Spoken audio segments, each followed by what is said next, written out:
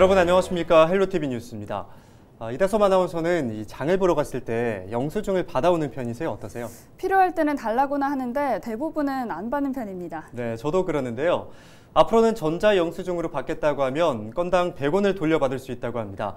요즘 탄소 중립이 중요한 화두인데요.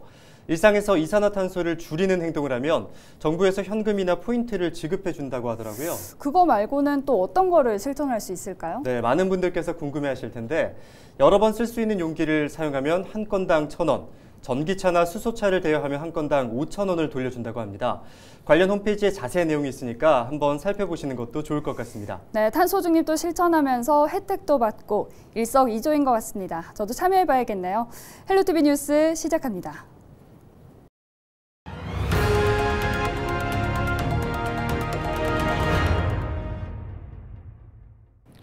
며칠 전 경주에서 루지를 타다 7살 어린이가 목숨을 잃었다는 안타까운 소식 전해드렸는데요.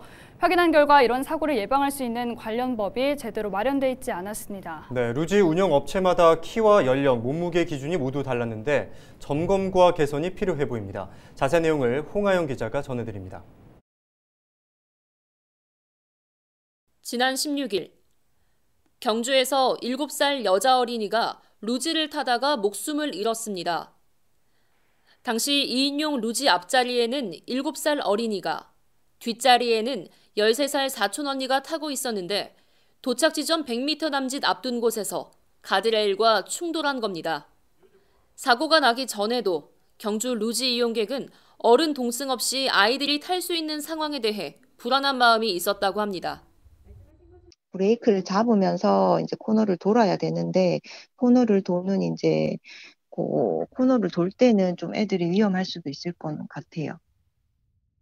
아이들도 혼자 타더라고요. 키를 뭐 이렇게 제한한다거나 아니면 몇 세 이상 이렇게 해서 조금 어, 관리를 하실 필요가 있는 있다고 생각을 해요. 실제 사고로 이어진 경우도 적지 않았습니다. 한국소비자원이 2020년에 내놓은 루지 체험장 안전 실태 조사에 따르면 2017년 1월부터 2020년 6월까지 소비자 상담센터와 소비자 위해 감시 시스템에 접수된 루지 관련 위험 사례는 총 15건. 그중 10대 미만 아동 청소년의 비율은 40%를 차지했습니다. 특히 다친 부위를 확인할 수 있는 12건 중 머리와 얼굴을 다친 경우도 절반에 달했습니다. 한번 사고가 났을 때 크게 다칠 가능성이 높단 겁니다. 하지만 사고를 막기 위한 안전수칙은 제각각입니다. 경주 루지월드 홈페이지에서 확인한 안전수칙입니다. 10세 미만, 신장 85에서 120cm 사이의 어린이는 보호자와 동반 탑승해야 한다는 내용이 눈에 띕니다. 성인 2명, 어린이 2명 동반 탑승은 불가능하다고 적혀 있습니다. 다른 지역은 어떨까?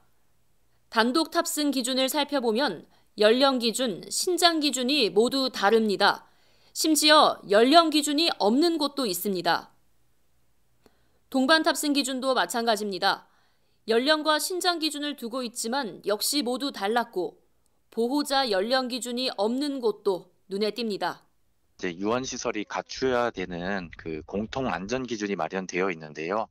이제 다만 루지 체험장의 특성을 반영한 개별 안전 기준이 좀 미흡하다 보니까 법이나 규정 등에서 규제하고 있지 않는 부분은 이제 업체들마다 개별 기준을 마련해서 운영하고 있는 실정입니다. 전국에서 운영되고 있는 루지 업체는 현재 포털 사이트에 검색되는 곳만 17곳. 크고 작은 사고는 계속 일어나고 있지만 루지의 특성을 반영한 세부적인 안전 기준은 마련돼 있지 않은 겁니다.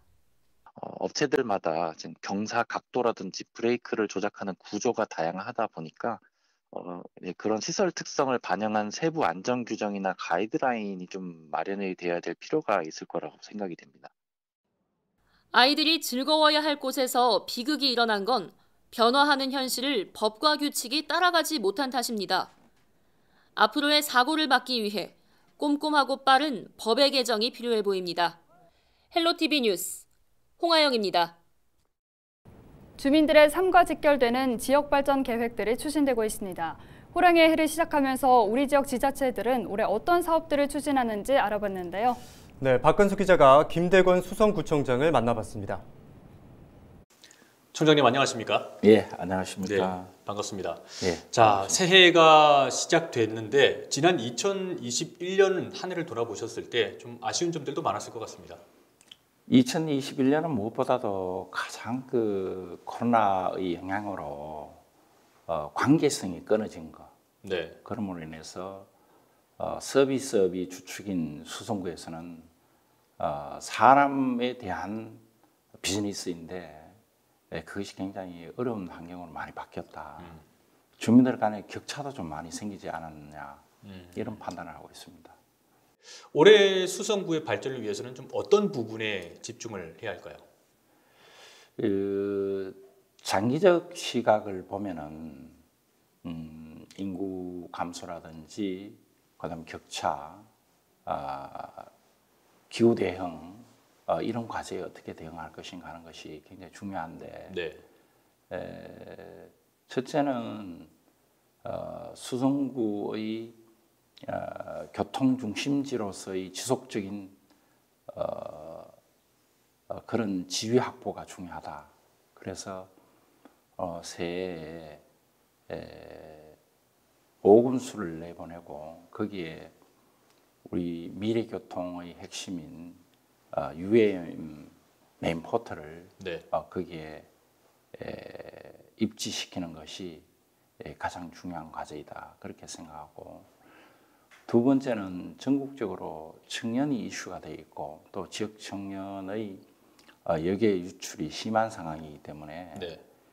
에, 경산하고의 공동 협력을 통해서 청년 친화 단지를 만들고 어, 거기에 에, 기업 유치 또 대학의 육성 어, 청년들의 에, 주거 또 육아 문제를 포함한 어, 청년 정책의 시범적인 어, 행정 사업들이 이루어질 수 있도록 어, 청년 특별 구역을 어, 만들어가는 사업들을 어, 현재 청년센터에 청년들을 주축으로 해서 지금 그런 아이디어가 모, 모아지고 있으니까 어, 이러한 부분들이 에, 대통령 공약 사항이라든지 정부 정책으로 어, 반영되기를 기대하고 있습니다.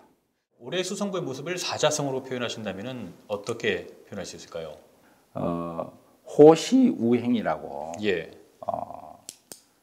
이게 호랑이처럼 어떤 시각적인 날카로움과 또 결단력을 가지고 또 지속성 있는 그런 어, 의지를 가지고 네. 사업을 수행한다.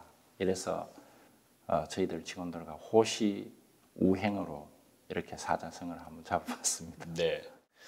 자, 이제 새로운 한 해 또 수성구의 미래 비전에 대한 고민은 계속될 것 같은데요. 수성구의 미래 어때야 된다고 보십니까? 수성구의 미래는 첫째는 어, 미래 교통의 중심을 차지하는 것. 그리고 일자리 청년 일자리 확보에서 가장 중요한 건 어, 청년 특별 구역을 만들어서 기업 유치와 청년이 이, 집중적으로 배출되는 대학의 경쟁력을 확보하는 것. 그 다음에는 어, 우리 주민들의 어떤 그런 갈등 요인들, 격차 문제, 소외된 부분들에서 어떻게 하면 그 평형성을 가지느냐는 문제, 그런 문제, 그리고 또 나아가서는 어, 기후 변화라든지 이런 데에서 세계적인 이슈에 동참하는 문제, 이런 문제를 집중적으로 좀 어, 저희들이 준비해 나가는 것, 그것이 중요합니다. 네. 어, 아마 올해도 수성구는 많이 바쁠 것 같습니다. 해야 될 일이 많을 것 같은데요. 어, 호랑이의 해를 맞아서 호랑이처럼 또 강인하고 힘차게 나아가는 수성구의 모습을 기대하겠습니다. 네, 감사합니다. 네, 오늘 말씀 고맙습니다. 예, 감사합니다. 이상으로 뉴스를 마칩니다. 함께 해 주신 여러분 고맙습니다.